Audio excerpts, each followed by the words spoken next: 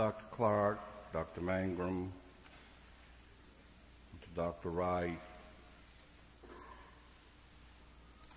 and all of the faculty members and students and friends from all over the country, uh, Dr.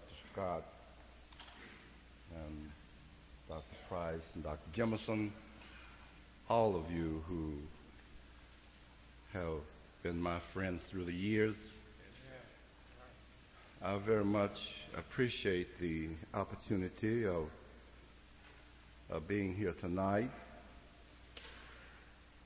And I think that I'm less worthy than many people uh, to preach on this T.M. Chambers night. I see Mrs. Chambers out there. Stand up, Mrs. Chambers. Some people may not know you. She's, she's here.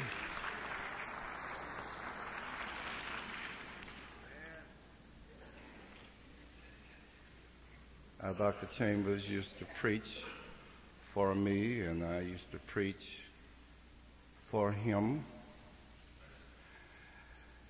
And I always felt when I heard him preach that the Lord had shortchanged me.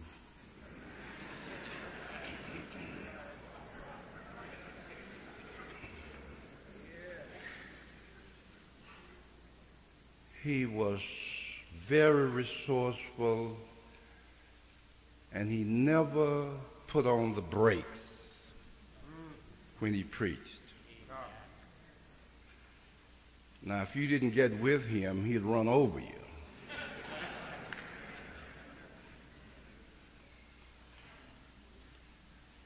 I know when I was attending Howard University in 38, Dr. the late Dr.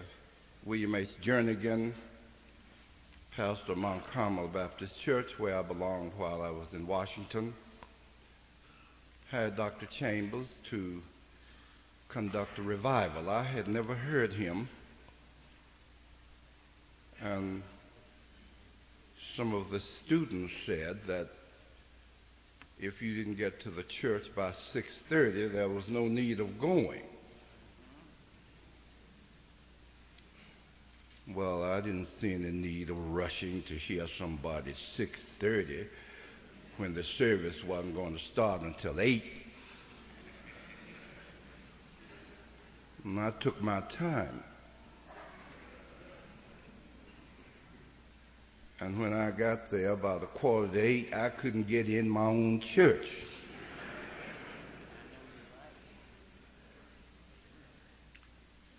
His massive spirit and his eminently trained mind uh, made him unusual. And back there, you didn't have too many uh, Baptist preachers at least who had finished college.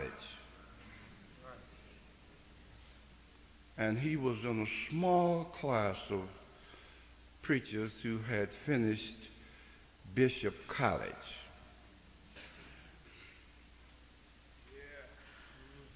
He and M.C. Williams um, really put Bishop on the map wherever they went. In fact, uh, uh, Dr. Williams feels that anybody who hasn't finished Bishop uh, doesn't have his head screwed on tight enough.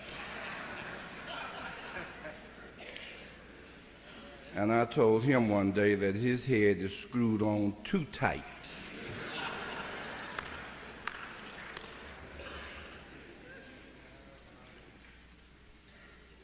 Bishop has made a tremendous contribution to the world, and it does not yet appear what it shall do.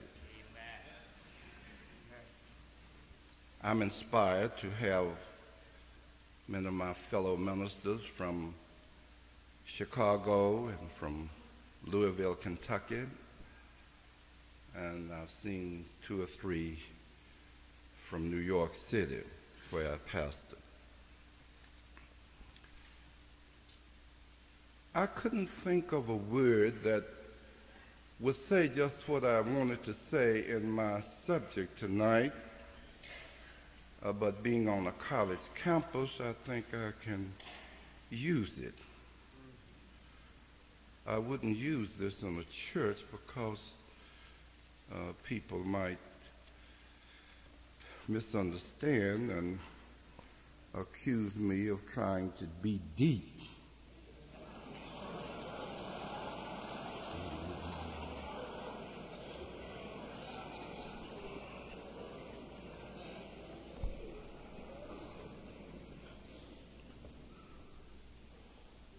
My subject tonight is the divine principle of reciprocation.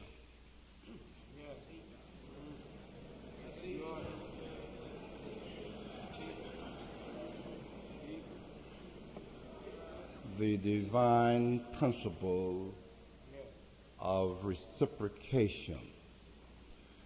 I couldn't find a word to say uh, just what I wanted uh, it to say, so I, I, had to use this. You know what reciprocation is. Um, it is back scratching.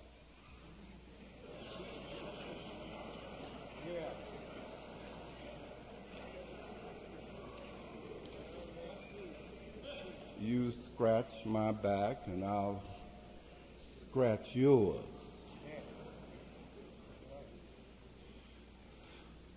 Or better still, we are all acquainted with uh, this uh, social etiquette. Uh, if I fix a big dinner for you this Christmas, don't expect to be invited next Christmas until you reciprocate.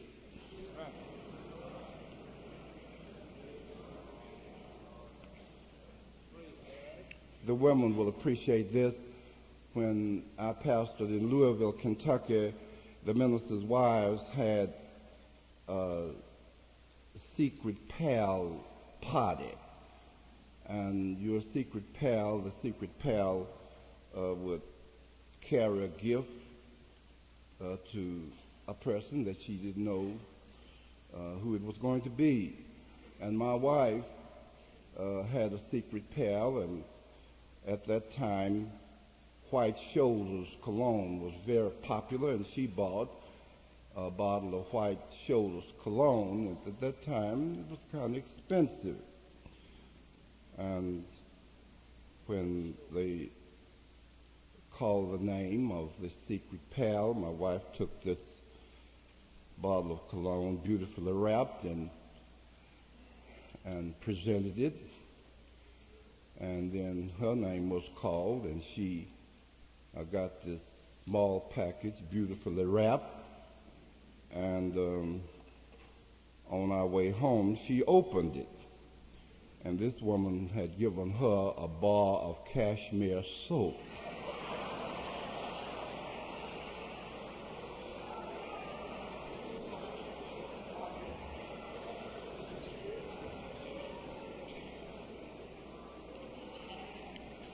I'm in this sanctuary and I can't tell you what my wife said. Mm-hmm.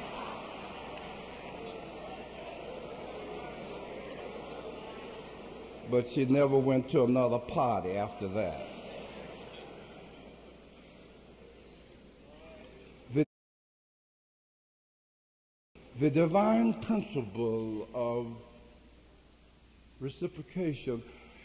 Uh, now, this, this is kind of becoming to us. I, I can understand that. I can understand uh, our reciprocating and our drawback when we are not favored. Uh, but I was a little set back um, when I found that uh, this reciprocation is based upon a divine principle.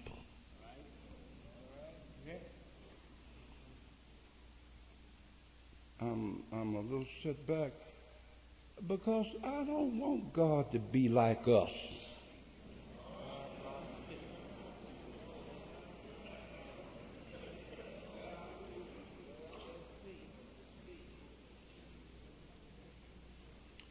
You see, I don't, I don't ever want to get tired of God, and I do get tired of us.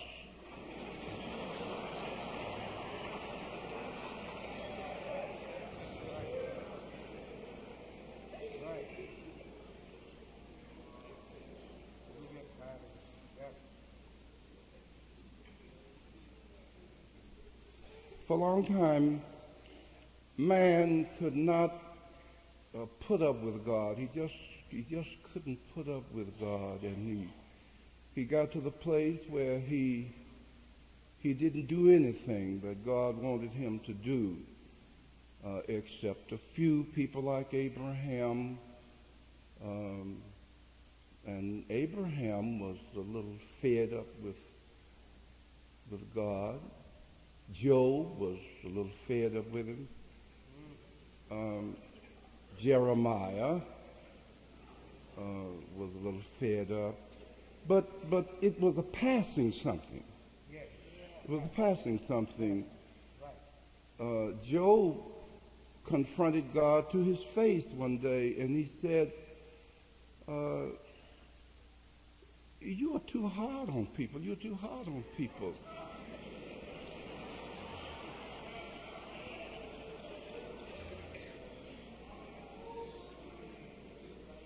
He said, You're mad with the whole human race because Adam and Eve sinned. Said, Man, you ought to go somewhere until your wrath is past.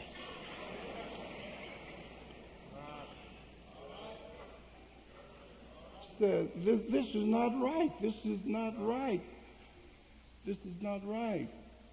Uh, you, you, even if a tree is cut out, it, its tender branches will come forth and it'll live again. But where is man? Yea, man giveth up the ghost and is no more. And so answer this question. If a man dies, shall he live again?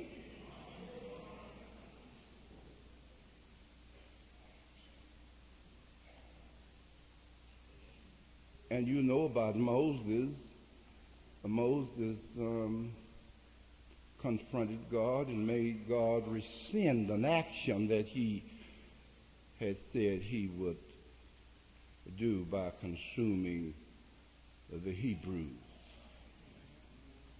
They had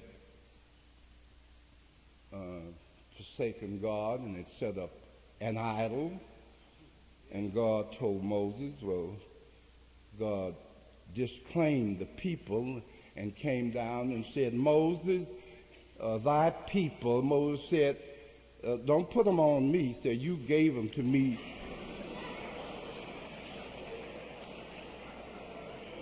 They are thy people.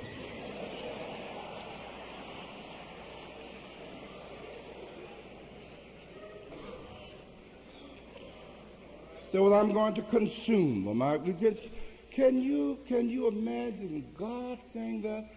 I'm going to consume all of them. Moses said, well, you can't do that. Said, you can't do that. Said, um, what will the Egyptians think about your getting these people out in the wilderness and destroying them? And what will the seed of Abraham think if there will be any seed, you promised him that his seed would, would be as the sand. What will they say when they come along?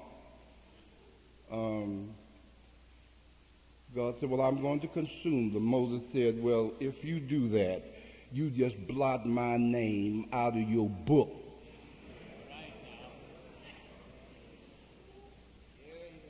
for I'm standing as hostage for these people. And I can't put up with a God like that. No. Now you read this. We read it. I don't understand it. I've never preached on it. You read it. But the Bible says God repented that he had even thought to do evil against his people.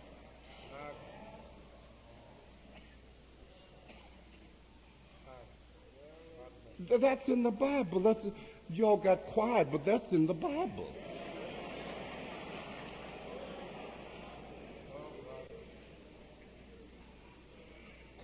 And God came in all sorts of ways trying to get up to man. And he never could get close to man because man decided that God was infinite and had no way of understanding him. And man was finite and could never measure up to God. What are you what are you all waiting on? I'm preaching now. Right.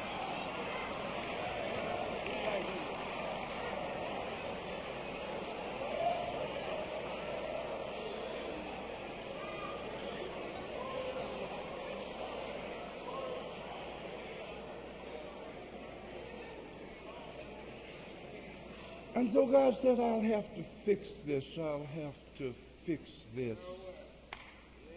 I'll have to fix this. I'm breaking up all of the cedars of Lebanon and then complaining that I didn't have enough kindling wood. When I speak, I have a voice as many waters. And I'll have to fix this so that man will come close enough to me to understand. And so I'll have to uh, represent myself in flesh.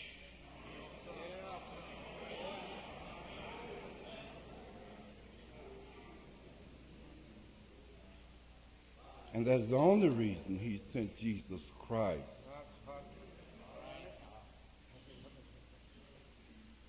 And we can follow him. We can Yes. follow him, see, because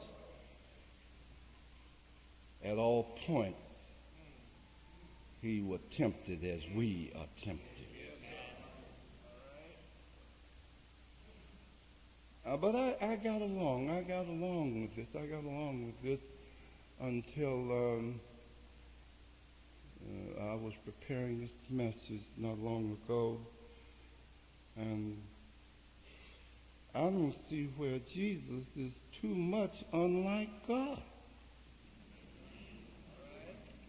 For he says in the text in Mark, the eighth chapter and the uh, 38th verse.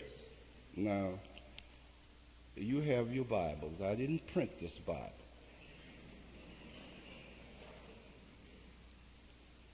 Mark, the eighth chapter and the eighth verse, um, 38th verse. And this is so much like us because when, when I grew up in the country, people used to pray, Lord, if you save my soul, if I will reciprocate, I'll, I'll serve you.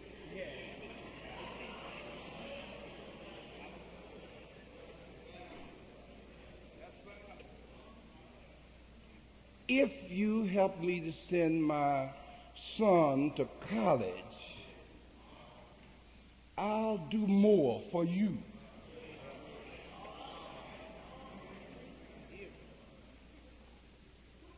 But I didn't expect Jesus to say this. Uh, and Shaw, you didn't either. You, you don't know what I'm going to say, but you didn't expect Jesus to say this.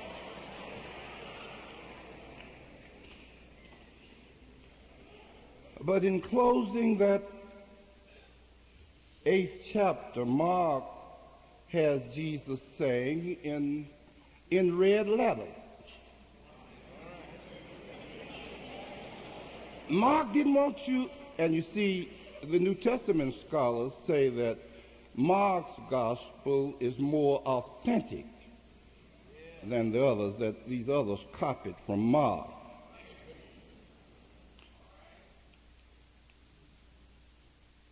And so Mark didn't want you to think that he said what Jesus said. He has Jesus saying it himself. Whosoever therefore shall be ashamed of me and of my words in this adulterous and sinful generation, of him also shall the Son of Man be ashamed when he cometh in the glory of his Father with the holy angels. The divine principle of reciprocation. If you are ashamed of me, said Jesus, I'm not sending you word, I am telling you.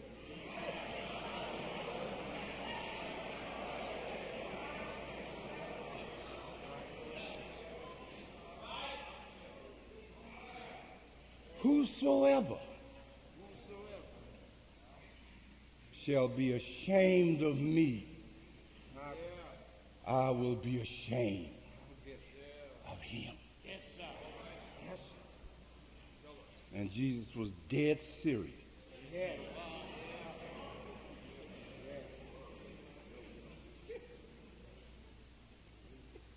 And I have watched this. I have watched this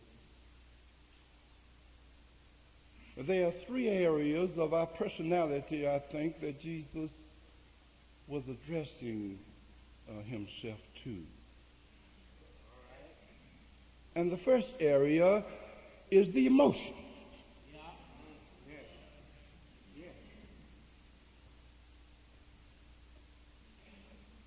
He could have said, Whosoever is ashamed to express his emotions for me, I will be ashamed of him. Yes. That's right. That's right. That's one thing that T.M. Chambers was never guilty of. That's right. Right. A graduate of Bishop College way back there. But he was never ashamed to express his emotion. He expressed them so that it went to his bones. He said, bless my bones.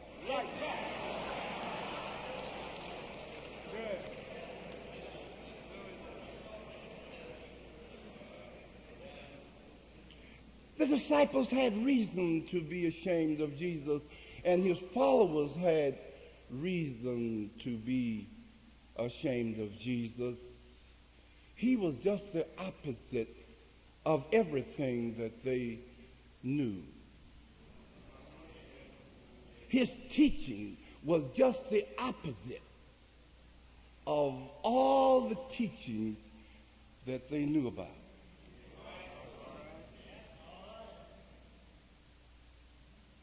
In fact, you know, his teaching is just now making sense.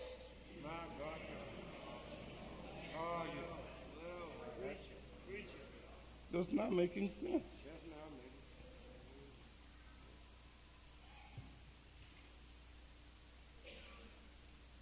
He was talking about forgiveness, and Peter wasn't thinking about what he was saying because he knew the law and the law was exact. It said, an eye for an eye, tooth for a tooth, forgive nothing. If anybody pluck you out, pluck his out.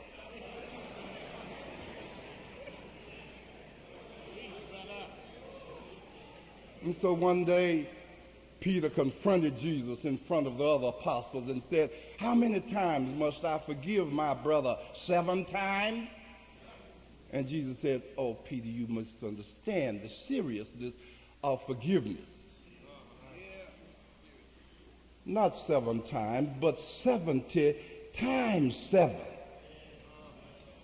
Well, Peter wasn't a good mathematician. He had to sit up all night to figure that that came to 492 times.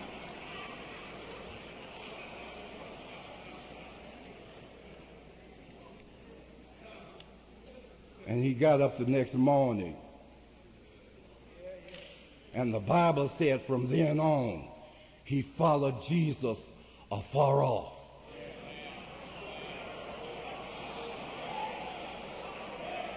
He must have been ashamed. He must have been ashamed. And I know he was ashamed in the garden that night.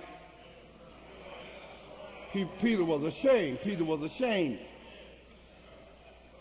Jesus had told them to put up the sword. Well, Peter wasn't thinking about that. He sneaked that sword under his tunic and went to the garden with Jesus. And Jesus was arrested, and Peter cut off the ear of the high priest. Now, Peter wasn't after that ear, he was after his head.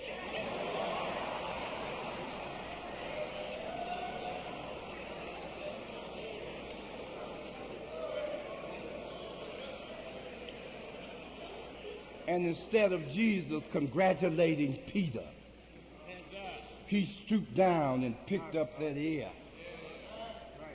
and stuck it back on that high priest's head, and it was healed instantly. And Peter was standing there waiting for congratulations. And when he saw Jesus heal that, put that ear back and healed it, he said, Well, I be blessed.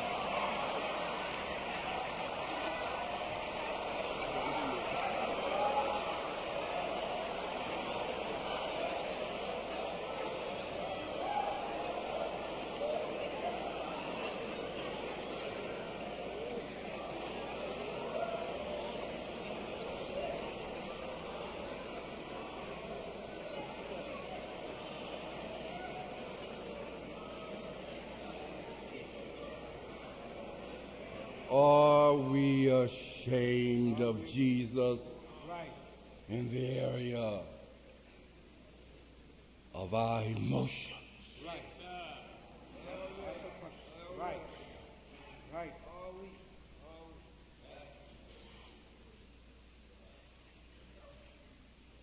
We are just we we are dishonest with our own feelings. We feel like shouting. We feel like preaching. We feel like raising our voice. We feel just like Dr. Clark feels. We just won't do it.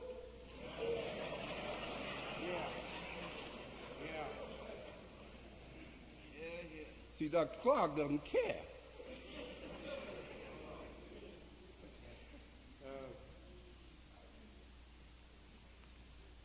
There's, I have some friends here, Dr. Lawson and others. There's, the, there's an Episcopal church in Memphis, Tennessee, and you know how, you know how well they've gotten along all these years. They don't have but one, one, one Episcopal church, black, one Episcopal church, black. This is true. That's my home. I know. And I was there at this time. Now I can get along with white Episcopalians uh, because I don't think they know any better.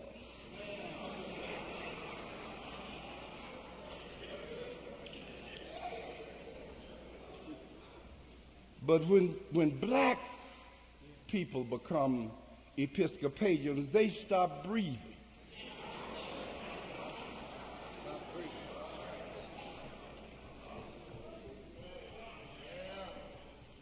They sit up in church like a bunch of mummies. Nobody breathing. And so there was a woman, I know she's dead now, Sister Amelia Fant, was one of these born again Baptists, and, and she was stopped.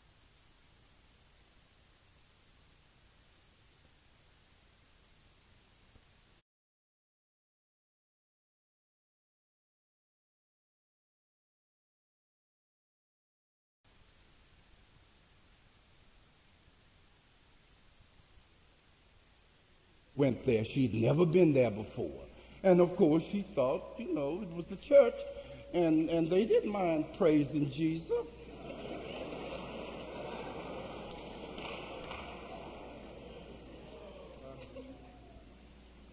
And the priest was reading his uh, hoary ceremony, and he came across the word Jesus. Sister Fan say, Amen. Call his name. That's what I came here to hear.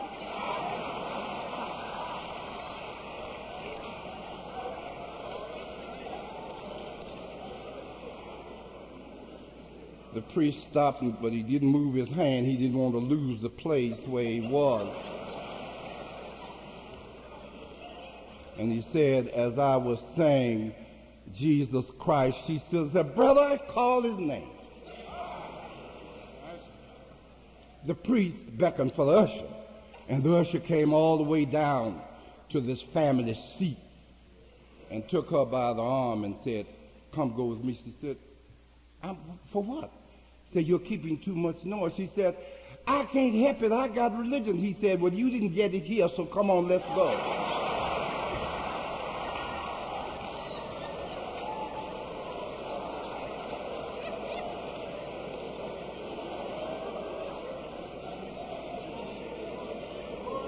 If it's the church of Jesus Christ, hear me tonight. If it's the church of Jesus Christ, why shouldn't she have gotten it there? If it's the church of Jesus Christ, if it is his church, why couldn't she say praise the name of Jesus? Why should, should why couldn't she use the whole area of her emotion to praise Jesus?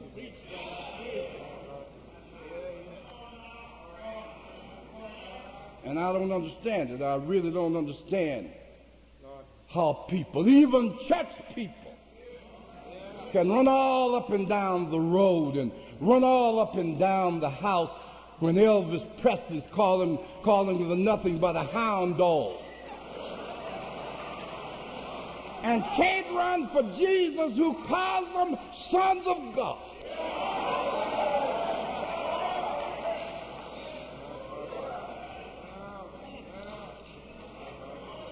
Are we ashamed to use our emotion? Are we? Are we ashamed to use our emotions? Can we shout in the Sodom and Gomorrah Baptist Church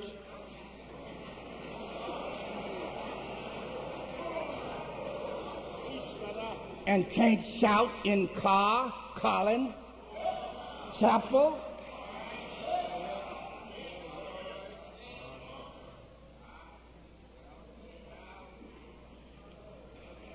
Are we ashamed to shout in that ghetto community and can't come on this campus to shout? Are we ashamed? In the area of our emotion. Jesus said, Well, if you are, I will be ashamed of you. And never let Jesus be ashamed of you.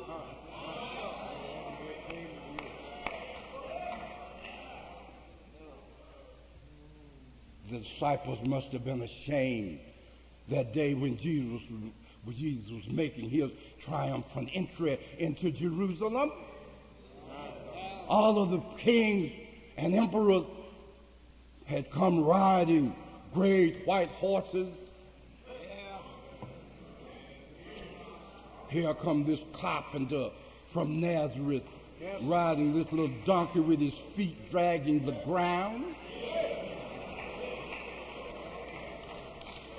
They said, Who is this?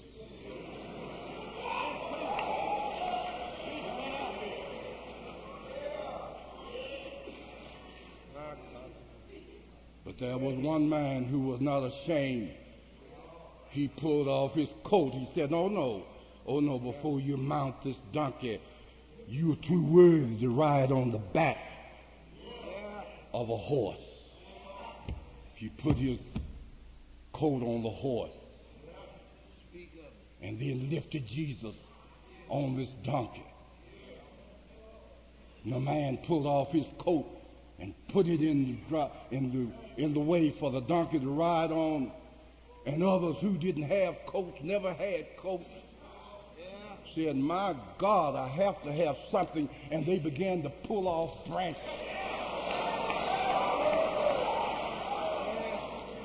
The city of Jerusalem, in the city of Jerusalem, not in back Galilee, but in the city of Jerusalem, the heavens rang with voices of people who let their emotions run wild. Hosanna. Yes, sir. Hosanna. Those stiff Pharisees who had never used their emotions even for God Almighty Said, rebuke these people, Jesus. That little boy who had given Jesus his lunch came Yes, up sir. and said, What are you talking about? Rebuke. You want me to be quiet? I will never be quiet. I saw that man. I gave that man my lunch of five barley loaves and two little fishes. And I saw him break them up. And I saw him reaching up into heaven, pulling down bread and putting down fish. And you want me to hush? No, I will not hush. Hosanna.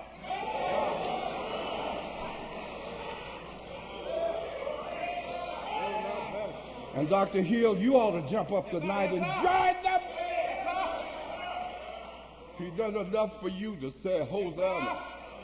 He's done enough for us to let our emotions run wild and say Hosanna.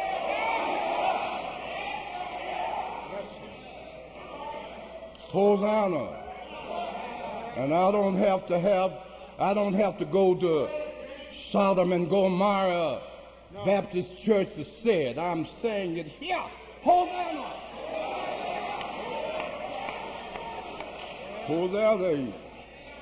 He put shoes on my feet when I didn't have shoes. He put clothes on my back when I didn't have clothes. He sent me to school when I didn't have anybody to help me. Who's Hosanna.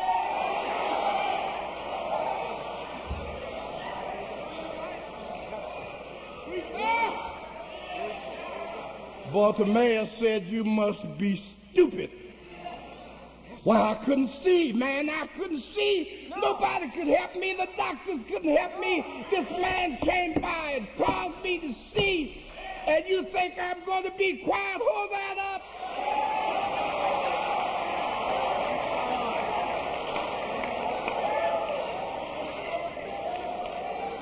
That woman who suffered an issue of blood for 12 years said, let me get through here. Let me, let me get through here.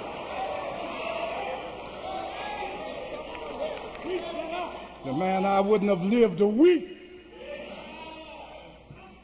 after Jesus passed by my house. And I just touched the hem of his garment. That's all I did. I just touched the hem of his garment. And he healed me on the spot. Get out of my way. Hold that up.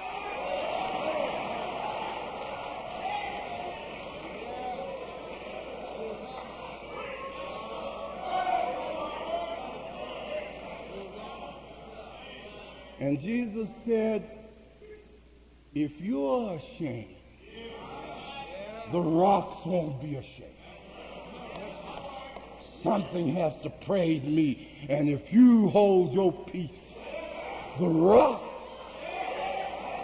will immediately cry out. And I have word for you. I have word for you tonight. No rock is going to take my place.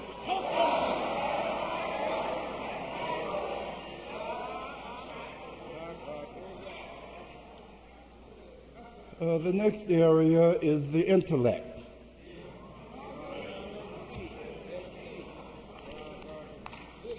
Are you ashamed to use your intellect for Jesus?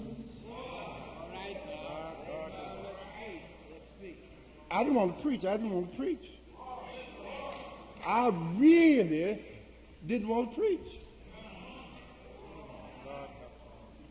Because I, I, I'd been to school and I was in school. And all the, most of the preachers that I had heard had never been to school. And I didn't see any need of going to school and spending my time to preach. Yeah. Come on, brother.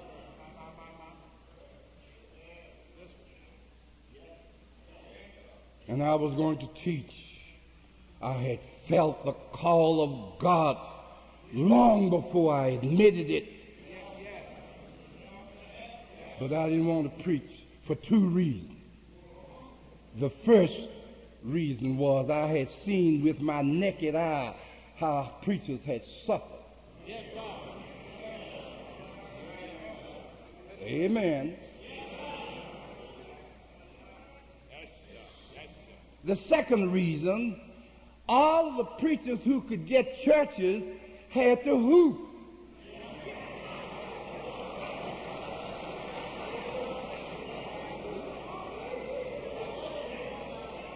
I didn't mind hooping, but I just don't have that kind of equipment.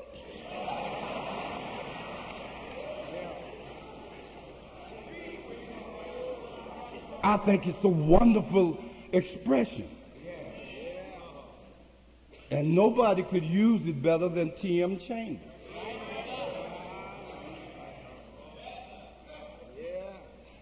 And so I refuse to use my intellect to preach. And I'm telling you by personal experience, Jesus was ashamed of me.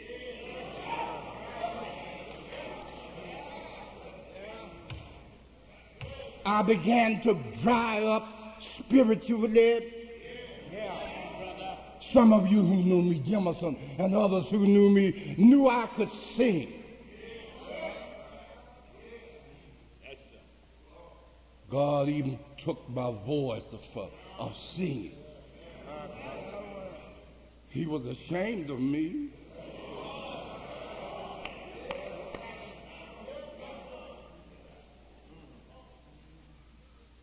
I was so frustrated that I went to a PhD to tell him that I thought I was called to preach. That was Dr. Benjamin E. Mays, the dean of the School of Religion at Howard. I had a conference with him, and I thought he had sense enough to give me some relief.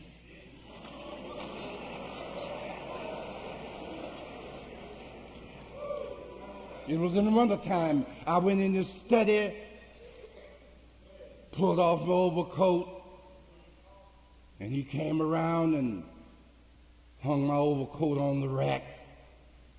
And he said, What is it, Mr. King? I said, Dean Mays, I think I'm called to preach. He got up, went to the rack, and got my coat.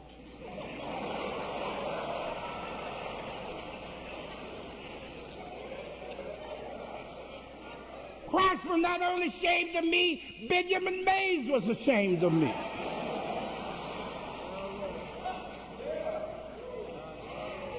handed me my coat, didn't even put, didn't even hold it for me to put on. Handed me my coat, went to the door and opened it and said, all I have to say is if you can keep from preaching, don't preach.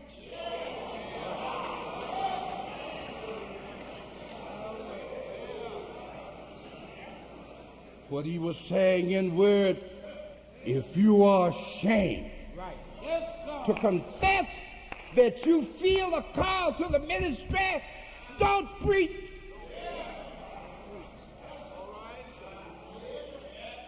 I made up my mind that day that I was going to preach the gospel of Jesus Christ. Am I preaching? Yes,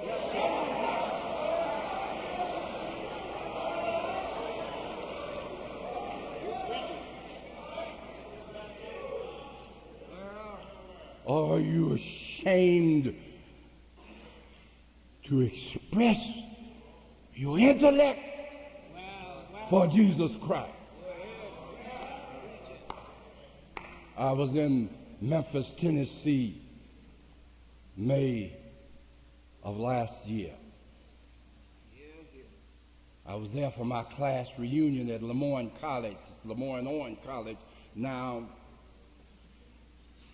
And that gymnasium was full of academic snobs.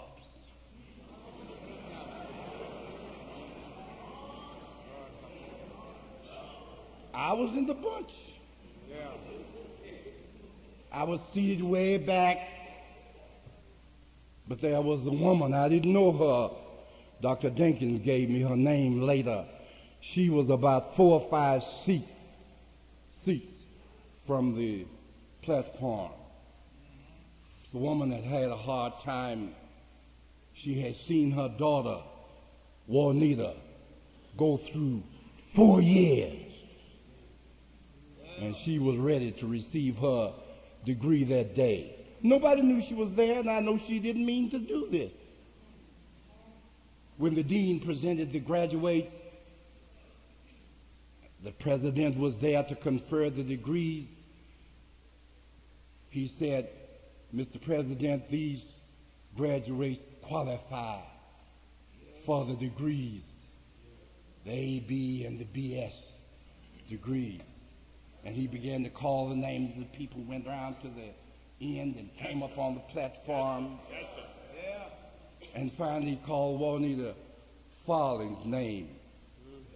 When she started around, as she went up on the platform, this woman said, Nope, nobody but you, Jesus.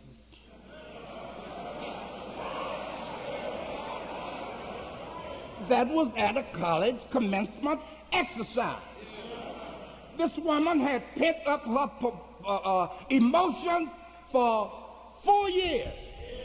And only Jesus helped her to come to that graduation to see her daughter graduate. She said, Nobody but you, Jesus. And the people started looking around. She said, I mean, nobody but Jesus.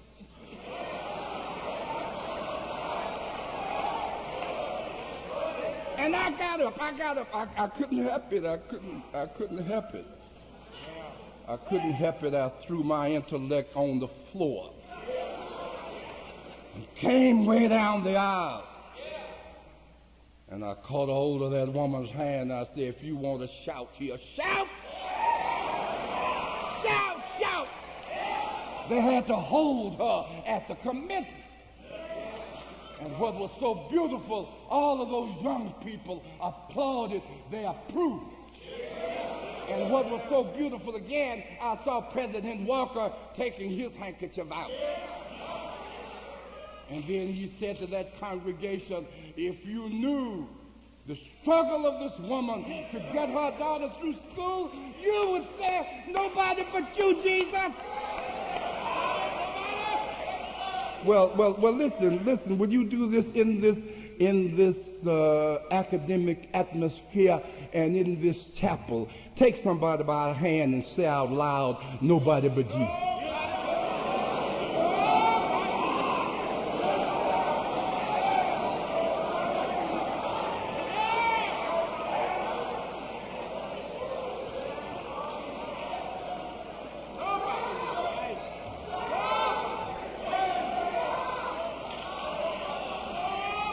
To be able to say it. You ought to be able to say it. Even here tonight, you ought to be able to say it. nobody but you.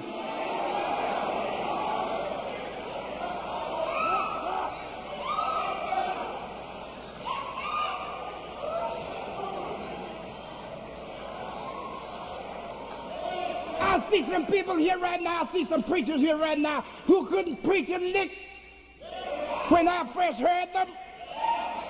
And now they're preaching. Nobody but Jesus. Nobody, nobody but Jesus. Not the seminary. Nobody but Jesus.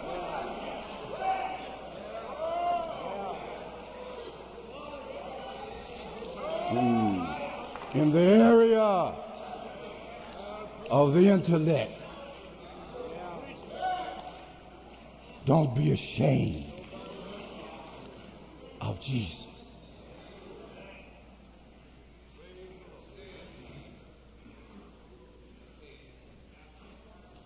Dr. Mangrum, I don't have to hurry, do I?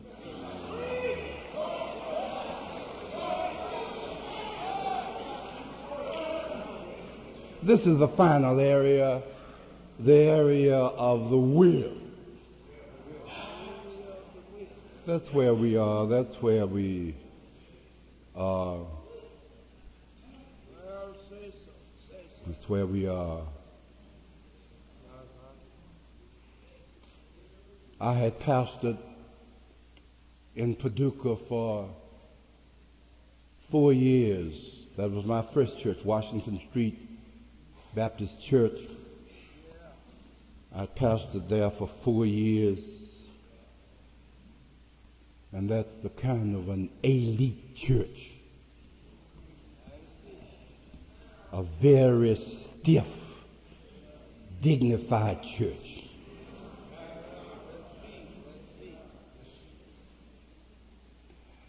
And they really were not particular about what I was saying as to how I was saying it.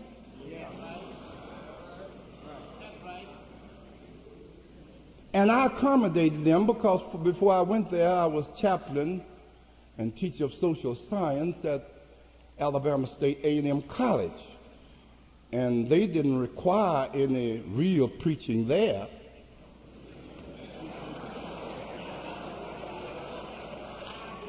And so when I found this church just like they were, I adjusted myself to them.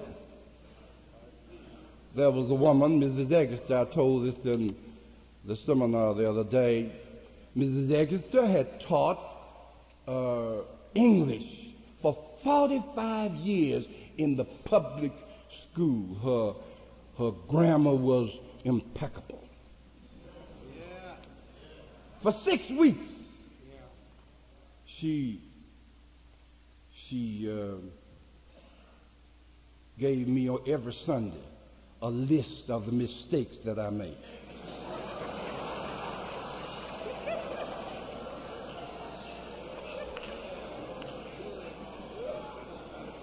She was as stiff as a poker. Beautiful woman, beautiful woman. She sat on the end of the choir on the front row.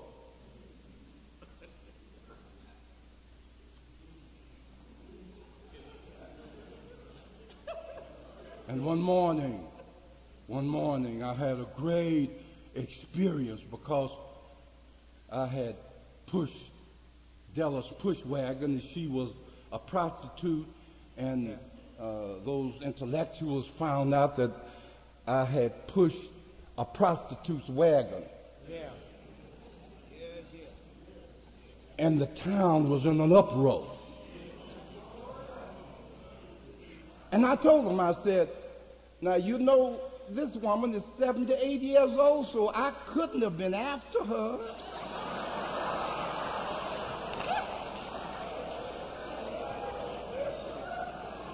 I said, as a matter of fact, she must be retired by now.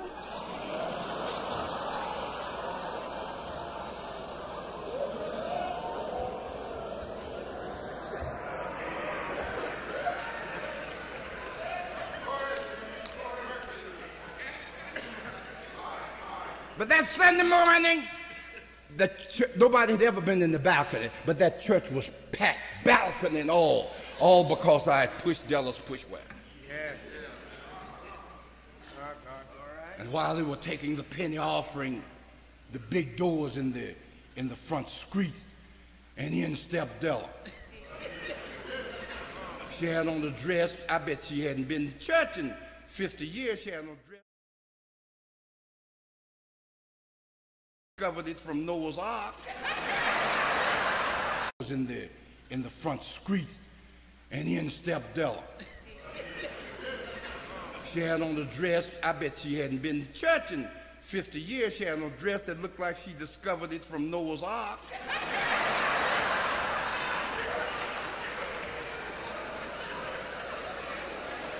She couldn't find a seat. I said, Brother Hartsfield, give Sister Della a seat back there. He reluctantly got up and gave her a seat.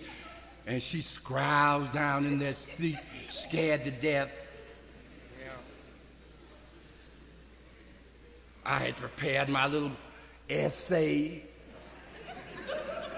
That fr- I got through that Friday, and that Friday I pushed the wagon. But as I was passing the house next door, a Pharisee member was standing out and said, "A Reverend King, we are so embarrassed. I said, about what?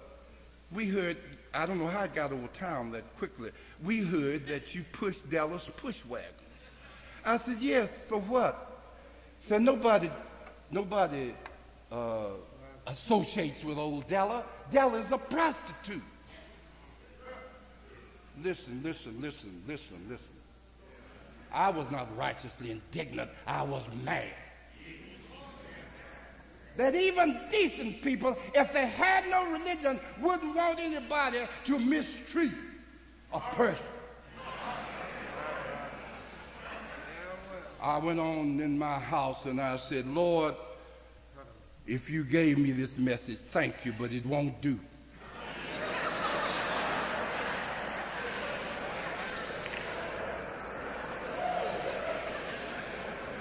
And I found, I found the text, woman, where art thou accused? And that day, Dr. Clark, I used my willpower. God had been trying to get to me all the time. Use your will. Step over these snobs. Use your will. Preach the gospel.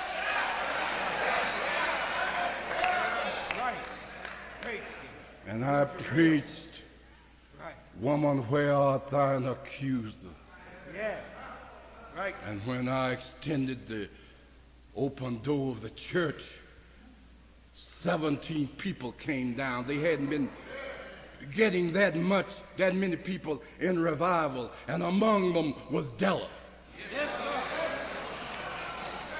I had Della to say a word. Della said, I was baptized in this church when I was nine years old, and those people didn't know it. And among that 17 was Mrs. Agassi, the, the, the English teacher, her brother-in-law.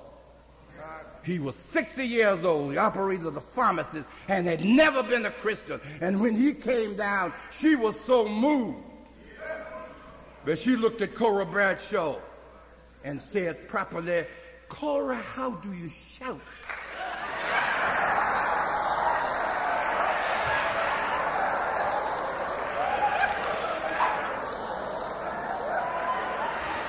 She said, I don't know how to shout. Cora said, just shout, woman.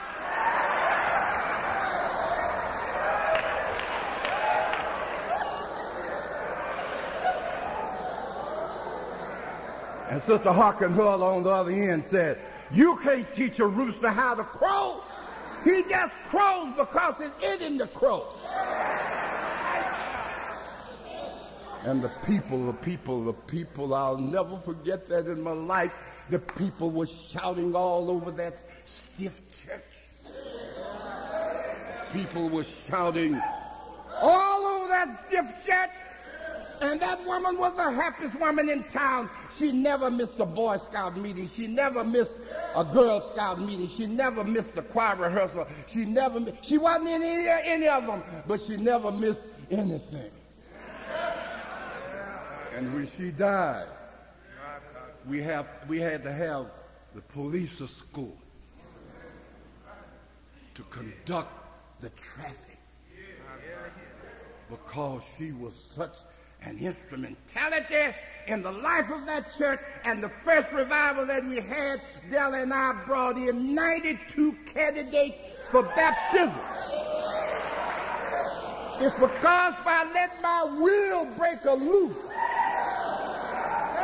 for Jesus Christ.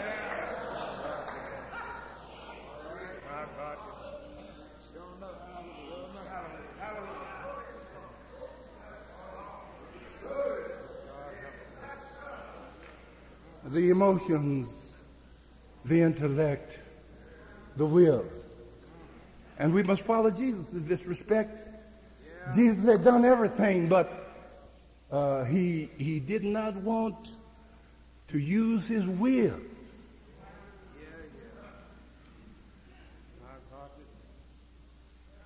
He had the sins of the world upon him. Yes, sir. But when he had to drink this cup, that meant he, he would take the sins of the world within. And he recoiled. He said, Father, Father. Father, Yes, sir. if it is thy will, I, I'm, I, I can't do it. I don't have the will. Remove it.